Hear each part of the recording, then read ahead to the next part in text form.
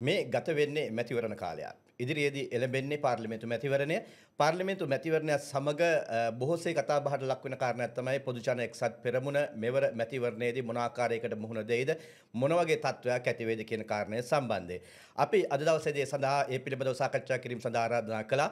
පොදු ජන එක්සත් පෙරමුණ වෙනුවෙන් හිටපු පළාත් සභා මන්ත්‍රී දයකාන්ත පෙරේරා මහතාට අයිබෝන් ඔබතුමාට අයිබෝන් අයිබෝන් ඔව් ඔබ හිටපු පළාත් සභා මන්ත්‍රීවරයෙක් වගේම තමයි මෙවර මැතිවරණයේ අපේක්ෂකයෙක්. පහුගිය ජනාධිපතිවරණයේ ප්‍රතිඵලයත් එක්ක ඔබ ඉදිරි මහ මැතිවරණය දකින්නේ මොන වගේ ආකාරයටද? ඇත්තටම මං පළමුවෙන්ම ස්තුතිවන්ත වෙනවා මට ආරාධනා කිරීම පිළිබඳව අපිට අවස්ථාවක් ලබා දීම පිළිබඳව මට මම හිතන්නේ පසුගිය ජනාධිපතිවරණයේදී අපි හීනකින්වත් හිතුවේ නැති ප්‍රතිඵලයක් තමයි අපිට ලැබුණේ. මම හිතන්නේ ඒකට විශේෂ හේතුවක් වුණා රටේ ජනතාව නිහඬව ඉඳලා යම් යම් දේශපාලන පක්ෂවල යම් යම් පොරොන්දු දේශපාලනය ප්‍රතික්ෂේප කරලා තියෙනවා. ඒ හින්දා පොදු ජන පෙරමුණ විදිහට අපි ගොඩාක් වෙලාවට පොරොන්දු දේශපාලනයෙන් තොරව අපි රට නගන ආර්ථික සමාජීය සැලැස්මකට අනුව තමයි අපි මැතිවරණයට ඉදිරිපත් වුණේ. හැබැයි සියල්ල ප්‍රතික්ෂේප කරලා තියෙනවා. අපිට ගොඩාක් ආදරේ අපිට ලෙංගතුය විතරක් අපිට අවසානයේදී අපිට ඡන්දෙ දෙන්න තීරණය කරලා තිනවා. ඒ ඡන්ද ප්‍රතිඵල දිහා බැලුවම අපිට සතුටු හැකි මට්ටමක අපි නැහැ කියන එක පිළිගන්නට ඕනේ. ඔව් අපි බැලුවොත් එහෙම ගිය පාර මැතිවරණයේදී කොළඹ දිස්ත්‍රික්කය ගත්තොත් එහෙම කොළඹ දිස්ත්‍රික්කයේ බලාපොරොත්තු නොවූ ආසන කිහිපයක් බලාපොරොත්තු නොවූ ප්‍රතිශත වලින් බලයෙන් ගිලිහිලා ගිහිලා තියෙනවා. මොකද ඒ ගැන හොයලා බැලුවද ඇයි මෙහෙම වුනේ කියලා? මං හිතන්නේ මේකේ විශේෂයෙන්ම සමස්ත ශ්‍රී ලංකාව තුළම මේ ඡන්ද ප්‍රතිඵලයේ ඒ විදිහටම ලැබිලා තියෙනවා. අපි දැන් උදාහරණයක් විදිහට ගත්තොත් එහෙම කොළඹ දිස්ත්‍රික්කයේ හෝමාගම, මහරගම, කැස්බෑව මේ කියන ආසන ලංකාවේ ඡන්ද ප්‍රතිඵල බලන ඕන කෙනෙක් ඉතාමත් උද්‍යෝගයෙන් ඉන්නවා මේ ආසනවල ප්‍රතිඵල බලන්න. විශේෂයෙන්ම වමේ ඡන්ද ප්‍රතිඵල නිකුත් වෙන ආසනයක්. සමහර හැබැයි මෙවර මැතිවරණයේදී අපි සමහර ආසනවල අපි තුන්වෙනියට ඇවිල්ලා තිනවා. ඒ කියන්නේ ජනතාව අපි එක දෙක නෙවෙයි තුන්වෙනි ස්ථානෙට. හැබැයි ඒකට සමහරක් වෙලාවට අපේ ප්‍රතිපත්ති වල වැරද්දක් තිබ්බද නැත්තම් ඒ ප්‍රදේශයට දේශපාලන නායකත්වයේ දීපු ඒගොල්ලන්ගේ අඩුපාඩු තිබ්බද නැත්තම් සමස්ත පක්ෂය ජනතාවට එපා වුණාද කියන ගැටලුවක් අපිට පැන නැගෙනවා. හැබැයි සමස්ත ශ්‍රී ලංකාවේ ප්‍රතිඵල දිහා බැලුවම අපි උදාහරණයක් විදිහට හම්බන්තොට ගත්තොත් හම්බන්තොට දිස්ත්‍රික්කයේ දැවන්ත අපි කවුරුත් දන්න හම්බන්තොට දිස්ත්‍රික්කයේ අපි උසස් පෙළ කරනකොට හම්බන්තොට දිස්ත්‍රික්කයේ තමයි ඌන සංවර්ධනය තිබිච්ච දිස්ත්‍රික්කය කියන්නේ ඉතාමත් දරිද්‍රතාවයෙන් පෙළිච්ච ජනතාව හිටපු ලංකාවේ අංක එකේ දිස්ත්‍රික්කය. හැබැයි ඒ දිස්ත්‍රික්කයට වරායවල් ගුවන් තුටුපළවල් මහමාර්ග පද්ධතිය ආර්ථිකය සංවර්ධනය කරන්නට රැකිය අවස්ථා ව්‍යාපාරික අවස්ථා මේ සියල්ල ලැබිලත් අවසානයේදී ලබා දුන්න නායකත්වය ප්‍රතික්ෂේප කරලා තියෙනවා. ඉතින් මං හිතන්නේ එතකොට හම්බන්තොට එහෙම ප්‍රතික්ෂේප වෙනකොටත් කොළඹ දිස්ත්‍රික්කෙත් එහෙම වෙන එක සාමාන්‍යයි කියලා මට හිතුණා. ඕක තමයි මං හිතන්නේ කොළඹ දිස්ත්‍රික්කෙත් මොකක් හෝ අඩුපාඩුවක් තියෙනවා වැරද්දක් තියෙනවා එක්ක අපිට දඬුවම් කරන්න නැත්නම් අපි පිළිබඳව කලකිරිලා නැත්නම් අපේ වැරදි හදාගන්න. ඔය ඔය කියන කරුණු වලින් එකක් තමයි මං හිතන්නේ ජනතාව අපිට ප්‍රතික්ෂේප කරලා තියෙන්නේ. හැබැයි එකම අමතක කරන්න අරකයි අපි විශාල ප්‍රමාණයක් ඡන්දෙ දෙන්න ඡන්ද පොලට එදා ඇවිල්ලා නැහැ. ඉතින් ඒ ඡන්දෙ දෙන්න ආපු නැති ඒ ජනතාව මං හිතන්නේ ඡන්ද නොදුන්න හේතුව පිළිබඳව අපි මේ අවස්ථාවේදී කරුණු හොයාගෙන යනවා. ඇයි ඒගොල්ලෝ ඡන්ද දෙන්න ආවේ නැත්තේ? උදාහරණයක් විදිහට දැන් අපි ඡන්ද දවසට ඡන්ද පොළ නියෝජිතයව පත් කරලා යවනවානේ. එතකොට ඒ ඡන්ද පොළ නියෝජිතයාගේ ඡන්ද නාම ලේඛනයේ එන අයගේ නම් ටික ලකුණු කරනවා. ඉරක් ගහලා අහවල් අහවල් අය ඡන්ද දෙන්නවා කියලා. හැබැයි බහුතරයක් අපි වේල පහෙන් අපිට ඡන්ද දෙනවයි කියලා දීර්ඝ කාලයක් තිස්සේ හඳුනාගෙන සිටපු පිරිස් එදා ඡන්ද දෙන්න දී ඇවිල්ලා නැහැ.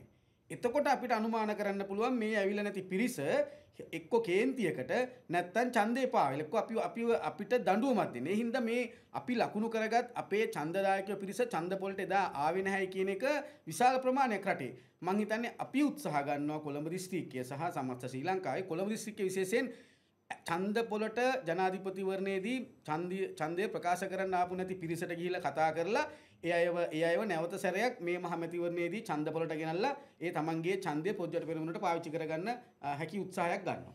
ඔව් අපි දැක්ක දෙයක් තමයි පොදු ජන පෙරමුණේ ඡන්දදායකයෝ බොහෝසෙන් ජනතා විමුක්ති පෙරමුණේ නායකයා. එහෙම නැත්නම් මාලිමාවේ නායකයාට ඡන්දය දුන්න ආකාරයක් අපි දැක්කා. ඔව්. ඒක ඒක අපි පිළිගන්නට ඕනේ. එකක් හේතුව තමයි ජනතා විමුක්ති පෙරමුණේ නායකයා රටේ ජනතාවට දැවෙන ප්‍රශ්න පිළිබඳව කතා කරන්නේ. දැන් හොඳ උදාහරණය තමයි ජනතා විමුක්තිකරණයේ නායකයා කිව්වා රටක් කරන්න නායකයෙක් ණය ගන්න ඕන නම් ඒ මොකටද ණය ණය ගන්න නායකයෙක් මොකටද කියලා. ඉතින් ඇත්තටම ওই ගන්න ණය ගෙවන්නේ මේ අපේ රටේ අනාගත දරු පරම්පරාව තමයි කිව්වා මේ ණය ගෙවන්න ඕනේ. දරුවන්ගේ දරුවෝ මේ රටේ ලෝකෙට ණය කරලා කිව්වා. ඉතින් ඒ ජනතාව තීරණය කර ඇත්තටම ඉතින් මේ රටේ දැවෙන්ත ආර්ථික ප්‍රශ්න ඇති වෙන්න එකක් හේතුව අනිත් එක දූෂණය. හොරකම් කරා හොරකම් කරා හොරකම් කරා කිව්වා. වැරදි විදිහට මුදල් හම්බු කරා කිව්වා. උගන්ඩාවට සල්ලි ගෙනිච්චා කිව්වා ෆ්ලයිට් එකේ දැක්කා කියලා කොහේ සල්ලි අපි නැවත ගේන්න ඕනේ කිව්වා. හැබැයි ඒ වගේම මේ දේශපාලඥයෝ සියලුම දෙනාට දේශපාලඥයෝ කියන අය හොරු කියලානේ ගැහුවේ. ඒ කියන්නේ මේ දේශපාලඥයා කියන හොරු කියන. හැබැයි මේ ගොඩේ ඉන්න බහුතරයක් තමන්ට ඡන්දෙ දීපු ජනතාවගේ ගෞරවය ආරක්ෂා කරන සහ එහෙම තමන්ට චෝදනාවක් එන්න තියෙන දේශපාලනය කරන විශාල පිරිසක් ඉන්නවා. හැබැයි පොදුවේ කොයි හරි ගිහලා මහජන නියෝජිතයෙක් කිව්ව ගමන්ම ජනතාව බලන්නේ හොරා විදියට. හැබැයි ඒ ඒ ඒ ඒ ජනතාවට එහෙම පණිවිඩයක් ඇව්වේ ජනතා විමුක්ති පෙරමුණ සහ ඒ නායකයන්. ඒ වගේ විශාල මං හිතන්නේ දැන් ඔබතුමා දකින්න ඇති ආරක්ෂාව මොන කතන්දරේ තිබ්බත් මේ රටේ අපි අද නිදහස ඉන්නේ මේ දෙවන්ත යුද්ධයක් අවසන් කරපින්ද.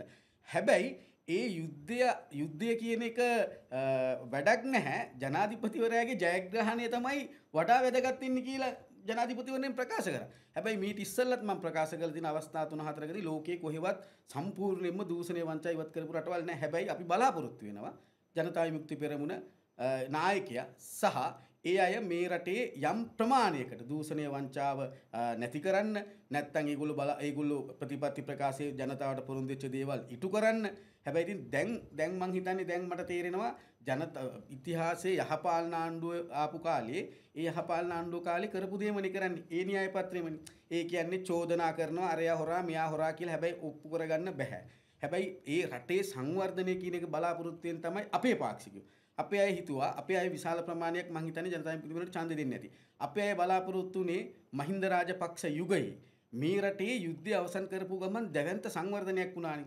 වරායවල් හැදුනා, ගුවන්තොට පොළවල් හැදුනා, අධිවේගී මාර්ග පද්ධතිය හැදුනා. ගමේ කෙරවලට කාපට් එක දාලා කොන්ක්‍රීට් එක දාලා ඉන්ටර්ලොකින් ගලුත් ඇල්ලුවා. හැබැයි ඒ සංවර්ධනය බලාපොරොත්තුෙන් තමයි මේ රටේ මේ මේ වත්මන් ජනාධිපතිවරයව පත් කරේ. හැබැයි අරයගේ මෙයාගේ දොස් හොයන එක එක කණ්ඩායමකට දීලා ඒ හොරු අල්ලන් එක කණ්ඩායමකට දීලා වත්මන් ජනාධිපතිවරයාගේ වක්කීම තමයි ජනතාව බලාපොරොත්තු වෙච්ච සංවර්ධනය ගෙනල්ලා දෙන එක. මට තව එකක් එකට ඉදු කරන්න ඕනේ මෙතුමා දැන් අපි කොළඹ දිස්ත්‍රික්කයේ ජීවත් වෙන අපි එකක් මං හිටපු බස්නාහිර පළාතේ පාසල් අධීක්ෂණ මන්ත්‍රීවරයා කොළඹ කලාපේ. හැබැයි මම මේ පාසල් බහුතරයකට ගිහිල්ලා තිනවා පාසල් පළාත් සභා පාසල්. හැබැයි කොළඹ නගරයේ තවම තියෙනවා මෙතුමා අම්මා තාත්තගේ ආරක්ෂාව නැතුව ආච්චි ළඟ හැදෙන සීයා ළඟ හැදෙන නැන්ද ළඟ හැදෙන දරුවෝ ඕන තරම් ඉන්නවා. උදේට කන්න නැහැ දවල්ට කන්න නැහැ. කාගේ හරි ළමෙක්ගෙන් ඉස්කෝලේට ඇවිල්ලා තමයි කන්නේ නැත්නම් ටීචර්ගෙන් කැම්ප් එකක් ඉල්ලන් කන්නේ. කොළඹ නගරයේ තවම තියෙනවා අනුරාධපුරයට එහා අන්ත අසරණ වැසිකිලි පද්ධතිය නැති පාසල්. ඉතින් මේක කතා කරනකොට හරි සුන්දරයි. ජනතාවට කතා කරන සුන්දර හැබැයි මේවා ගිහිල්ලා බලලා ඉස්සෙල්ලා මේව හදන්න ඕනේ. යටිතල පහසුකම් ටික හදන්න ඕනේ, පාසල් පද්ධතිය හදන්න ඕනේ. ඒ ගුරු ගුරුවරු ඉන්නවනේ ගුරුවරුන්ට දැන් මේ මට හිතෙන්නේ දැන් මේ සති තුනක් ගිහිල්ල ඉවරයි. මේ සති තුනට මට හිතෙන්නේ මේ කොටස් වශයෙන් බෙදාගෙන මේවා ගිහිල්ල ඉවරලා මේ අඩුපාඩු හොයලා මේවා කරන්න තමයි මේ රටේ ජනතාව ඡන්දි දුන්නේ. හැබැයි එහෙම දෙයක් පේන්නේ එක කණ්ඩායමක් මුලින්ම කිව්ව වාහන කියලා ඉවරලා මං හිතන්නේ වාහන කතාව ඉවරයි. ඉතින් මේව කර කර ඉන්නවට වැඩිය රටේ ජනතාව ජනාධිපතිවරයා පත් කරේ අන ජනාධිපතිවරුන්ට වැඩියෙන් මේ රටට දැනෙන සංවර්ධනයක් කරයි කියලා. ඉතින් ඒ සංවර්ධනය කෙරුණේ නැත්තම් ඒ ජනතාව බලාපොරොත්තු වෙච්ච ජනතාවගේ අපේක්ෂාව නිටුනේ නැත්තම් නැවත සැරයක් ජනත ජනතාව මුලින් අවස්ථාව වගේ වත්මන් ජනාධිපතිවරයා සහ පක්ෂ ප්‍රතික්ෂේප කරන තියෙන අවස්ථාව බහුලයි. සීට පණහ උන්ට කොහොමත් ගන්න බැරි වුණා. දැන් මෙවර මැතිවරණයේදී ඔබෙන් ඔබේ පක්ෂයෙන් ගිලිහුණු ඡන්දදායකයා යලි ළඟා කරගන්න මොන වගේ වැඩපිළිවෙලක්ද පක්ෂයක් විදිහට ක්‍රියාත්මක වෙන්නේ? පක්ෂයක් විදිහට මං හිතන්නේ අපි පක්ෂයක් විදිහට සාකච්ඡා කරන්නේ අපේ යම් යම් අඩුපාඩු වැරදි තිබුණනේ ඇත්තටම අපිට අපිට පාක්ෂිකයාට මම පෞද්ගලිකව හිතනවා පක්ෂයක් විදිහට අපි මීට වැඩිය පාක්ෂිකයාට කිට්ටු වෙන තිබිච්ච අවස්ථා වැඩි.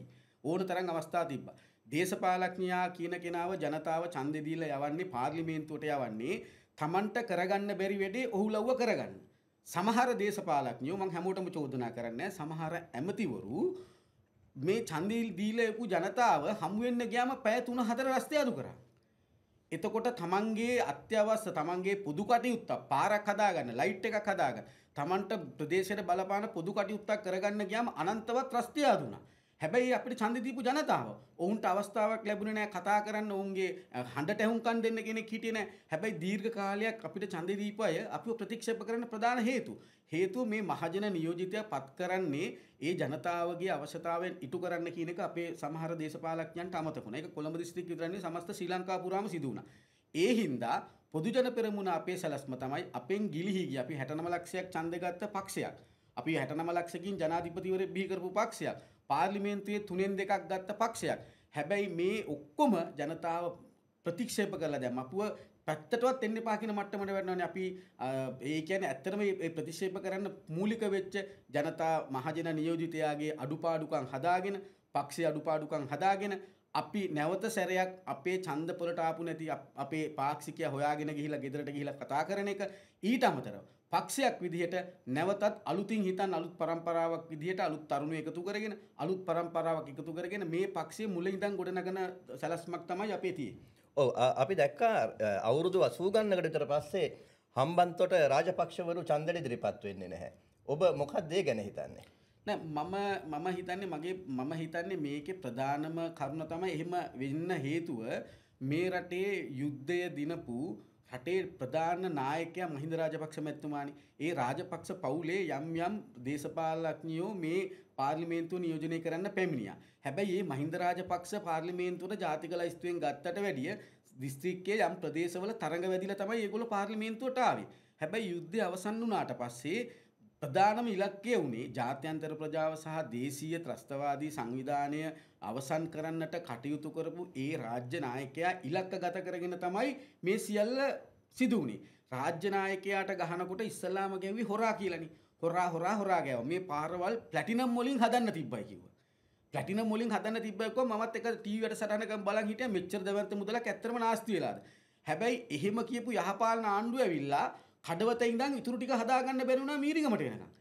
හැබැයි එහෙම ඒ අධිවේගී මාර්ග පද්ධතිය හදාගන්න බැරි වුණා. හැබැයි අමතක කරන්න අරකයි යුද්ධය අවසන් වෙලා මහින්ද රාජපක්ෂ මැතිතුමා අධිවේගී මාර්ග පද්ධතිය හදලා මේ ඔක්කොම හැබැයි එතුමාට තව අවුරුදු 6ක් දුන්නා නම් අද අපි සත් වෙන ශ්‍රී ලංකාව පුරා ඕනම තැනකට යන්න පුළුවන් අධිවේගී මාර්ග පද්ධතිය හදන්න තිබ්බා.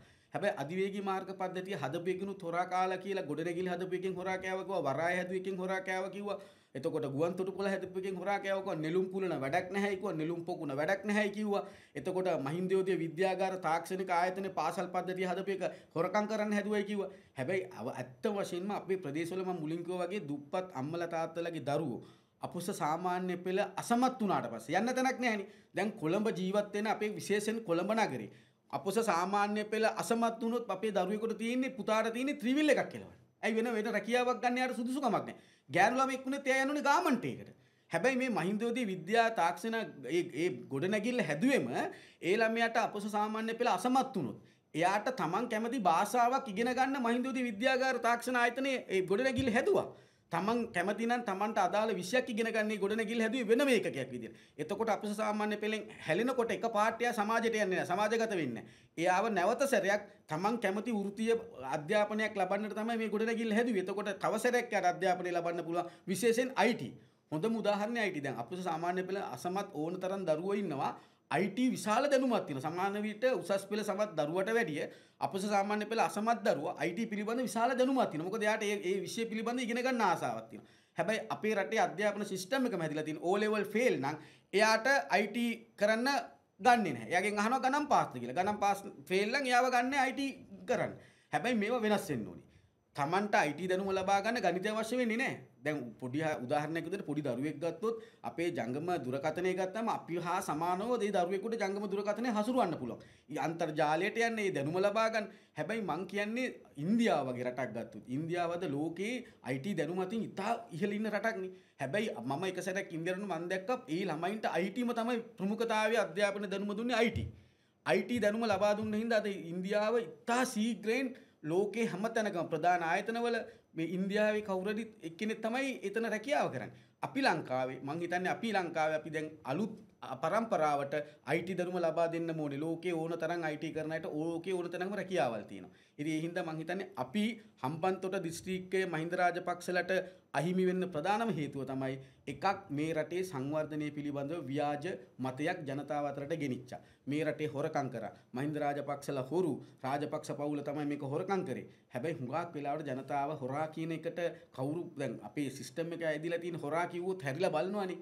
අර සුදුරෙදි හොරා ගැන මං හිතනවා ඔක අර ධම්මික පෙරමැතුමා DP එඩියුකේෂන් එකේ ඔක හොඳට පැහැදිලි කරා. අපේ සිස්ටම් එකම හැදිලා තියෙන්නේ කාට හරි හොරා කියන්නේ. ඒ හින්දා මේක මහින්ද රාජපක්ෂලා මේ යුද්ධය අවසන් කරලා රට හදපු ඒ නායකයන්ට මඩ ගහලා ඒ නායකයන්ගේ දේශපාලන ගමන අවසන් කරන්න හදපු සැලැස්මේ අවසාන කොටස තමයි රාජපක්ෂවරුන්ට මං හිතන්නේ කලකිරෙන්නේ නැති. එකක් හේතුව මෙච්චර මේ දේවල් රටට කරලා මේ යුද්ධය අවසන් කරලා මේ රට හදපු රාජපක්ෂවරුන්ට හොරු කියලිවල දේශපාලනේ ඡන්ද ප්‍රතිඵල දිහා බලනකොට ඡන්ද ඉල්ලන්න හිතෙන්නේ නැහැ. ඒ කියන්නේ අපිව ජනතාව ප්‍රතික්ෂේප කරලා කියලානේ. මම හිතන්නේ ඒක තමයි මේ මේ කලකිරීමත් එක්ක වෙන්නේ නැති මම හිතන්නේ හම්බන්තොට දිස්ත්‍රික්කයේ සහ ඒ රාජපක්ෂවරු නියෝජනය කරන අනිත් දිස්ත්‍රික්කවල ඒ කලකිරීමත් එක්ක තමයි මේ මැතිවරණට ඉදිරිපත් වෙන්නේ නැත්තේ. ඔව් ඔබ කතා කළා මහින්දෝදය මේ ඒ පන් පිළිබඳව. අපි දැක්කා ඉන්නතුර රනිල් වික්‍රමසිංහ මහත්මයා දෙදස් පහළවේ අගමැතිවරයා විදිහට ඉන්නකොට ඕගෙනාව දහතුන් වසරක අකණ්ඩ අධ්‍යාපනය කියලිවෙරලා. නමුත් ඉන්න අනතුරුව ගොටාබේ රාජපක්ෂ මහත්මයා බලයටාවට පස්සේ එම වැඩ පිළිල ක්‍රියාත්මක කළේ නැහැ. ඔබට හිතෙන්නේ නැද්ද මේකේ වැරද්ද මේ දේශපාලනඥයමයි කියලා. මොකද ඔවුන්ට කිසිම ජාතික වැඩ පිළිලක් නැහැ කියලා මේක ඉදිරියට ගෙනියන්න. ඇත්ත මම පිළිගන්නවා. ඉස්සල්ලාම දේශපාලඥයෝ මේ වැරද්ද බාර ගන්න ඕනි. දේශපාලඥයා මේ චෝදනාව පිළිගන්නවා.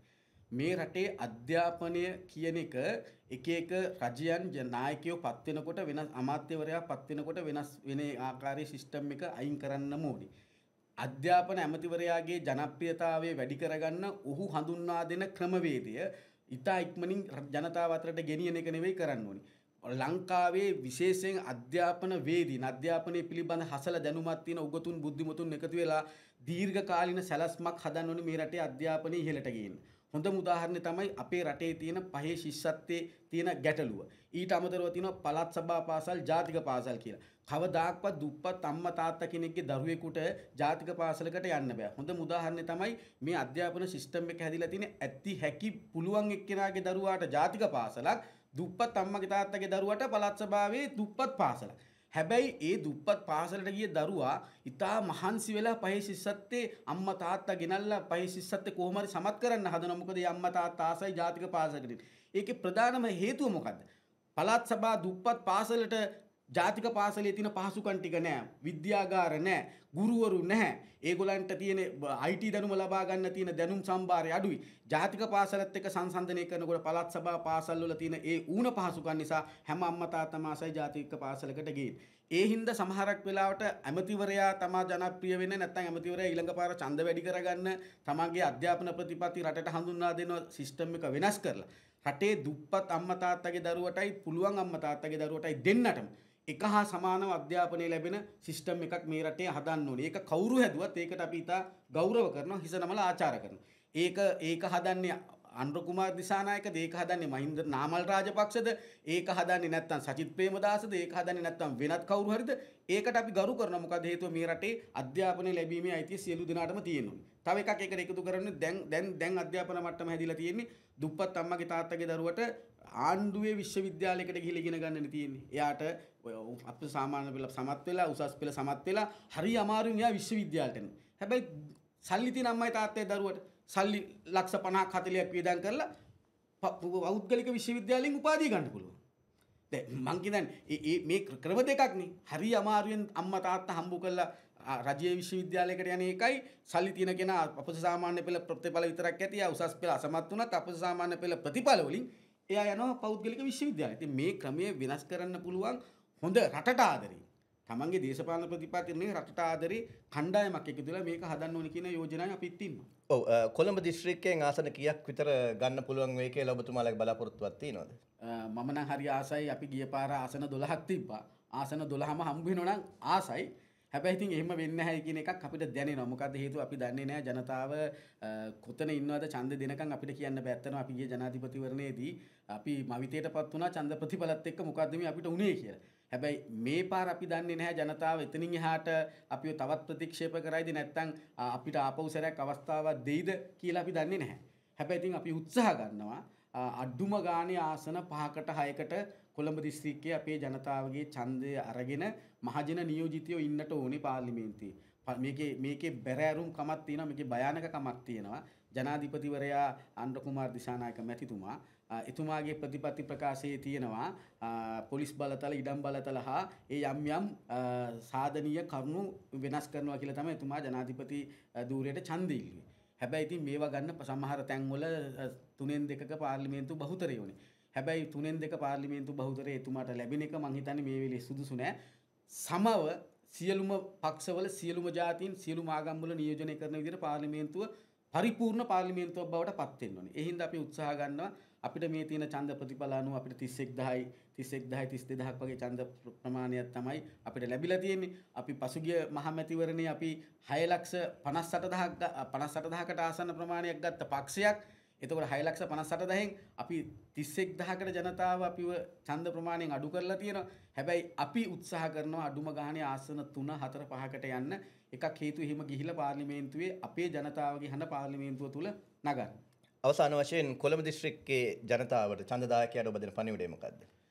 අ, මේ මහජන නියෝජිතයා පත් කරන්නේ ඇත්තටම ජනතාවට අවශ්‍ය කරන ජනතාවගේ මූලික කරුණු ටික ඉටු කරගන්න. මොකද ඒගොල්ලන්ට ම- පාර්ලිමේන්තුවට ගිහිල්ලා ඒවට ටික කරගන්න බැරි හින්දා තමයි අපිට ඡන්ද දීලා අපිව යවන්නේ. ඉස්සල්ලාම හොයන්න මම නම් කියන්නේ ඡන්ද දෙන කෙනා කවුරුණත් කමක් නැහැ. එයා ඉන්න තැන කොයිද කියලා හිල- හොයලා බලන්න. එයාට ඉන්න ගෙයක් තියෙනවද කියලා බලන්න කොළඹ. එයා කාර්යාලයක ඉන්න කෙනෙක්ද කියලා බලන්න. එයා හොරෙක්ද කියලා බලන්න. එයාගේ දේශපාලන ඉතිහාසය බලන්න. එයා මොකද්ද කරලා තියෙන්නේ? මහජන නියෝජිතෙක් විදිහට ජනතාවට සේවය කරලා තියෙනවද? නැත්නම් ජනතාව ප්‍රතික්ෂේප කරපු කෙනෙක්ද? නැත්නම් ජනතාව ජනතාවගේ දැඩි දෝෂාරෝපණයට ලක් වෙච්ච කෙනෙක්ද? අඩුම ගානේ Taman පත් කරන මහජන නියෝජිතයා ගිහලා හම්බ වෙන්න පුළුවන් තැනක් තියෙනවා.